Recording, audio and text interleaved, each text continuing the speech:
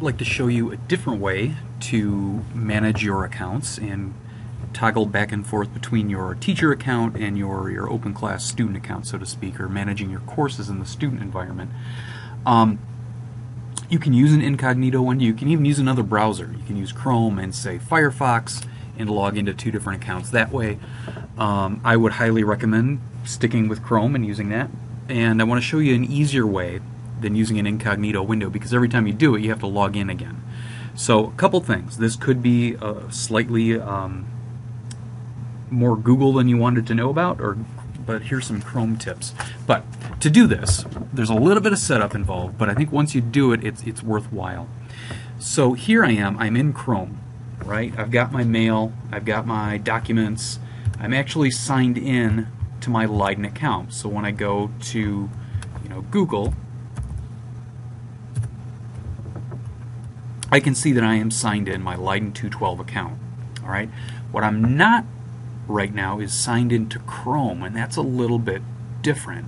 What you're able to do when you sign in with Chrome, you can set it up so wherever you open Google Chrome and you're signed in, it's going to sync everything. It's going to sync all your applications, your extensions, your bookmarks, whatever. It can even sync your tabs. So these tabs that go across the top, if you have a number of tabs going across the top in one computer and then you go home on a completely different computer, if you're signed in to Chrome, it'll even open those tabs up. Pretty cool. So, and it tells me I'm not signed into Chrome. I'm missing out. Sign in. So I will do that. So you can go to your wrench. What you need to make sure is you've got an up-to-date version of Chrome. And they keep changing it. Um, I'm going to take a look at where I am all right, I have version 18, and by the time you watch this, it's probably going to be version 21. But as long as you have a reasonably up-to-date version of Chrome, 18 or beyond at least, you should be good. If you're not, talk to tech. They'll update Chrome for you. It's worth it. So anyway, now that's taken care of. Now what I want to do is go into either I can sign in. Excuse me, I'm going to go to um, my settings tab. I went to the wrench to settings. And I'm going to go to my personal stuff. And I'm going to sign in to Chrome. And it just asks your email. So I'm going to sign in with my Leyden email.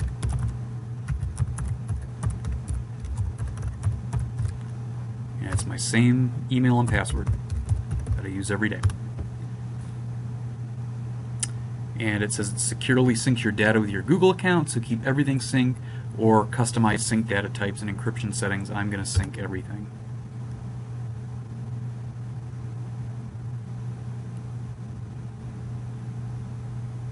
Alright, so I am signed into Chrome, whatever that means. Well, what it means is if I go to another browser in another computer and I go to my Chrome there and sign in once, it's going to sync everything. Now, here's where the multiple accounts happen. You have to be signed into Chrome, which I am. See, I'm signed in as and Storaasli at Leyden212.org. But what you can do, again, going to your wrench and into your settings, and it's going to take me right back here, but that's how you get here. Um, you can actually, under personal stuff, see where it says users, I'm the only Google Chrome user? Well, I'm going to add a new user. And that is going to be my student account, my account in the student domain. And I'll show you why that's going to be cool.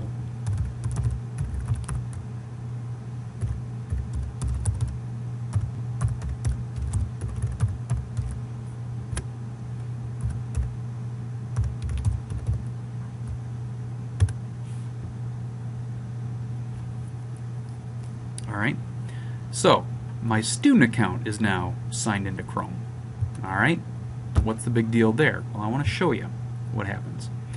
I don't know if you can see up in the top left, there's a little musical note. That's This is my student account. I'm going to pop over to my regular Leyden account. There's a little ninja. It's assigned me a little icon there. You can always change that, by the way. But um, I've got two different users. Leyden Current, Leyden Student. Alright, so what? Let me show you this. I'm going to back out of Chrome completely and just start from, from scratch. So I don't have anything open in Chrome, but if I do, it opens up. And if I go to this little icon, I can pop back and forth between my adult account And I can go into mail, I can go to calendar, I can go to, you know, documents, whatever. More importantly for this, I want to go into my open class here. And here's my student account. Same thing. I can go to Google, go to mail, whatever. But I'm in my student account, and again, that's where you, for your student account or your account in the student domain, you're still a teacher, but this is where you manage your actual live courses, and that's where you'll interact with your students. So you can pop back and forth all you want. Here's my adult, student account, adult, student account, and you can pop back and forth, and you can do that all day long, and you don't have to log in anymore. It takes that login every day off the table. Just a little quick thing people are going to want to know how can I change that icon or whatever. Um, you go to your wrench, to your personal stuff, and whatever one you're, you're currently logged in. I'm here in my Ninja, and I'm not going to change that, but if I wanted to, I could go in and change the name, I could change the icon. Same thing if I don't like that musical note, I can go to my settings, to my personal stuff. I'm currently looking at the window of my student account and I do want to edit that and maybe I want to make it a cheeseburger.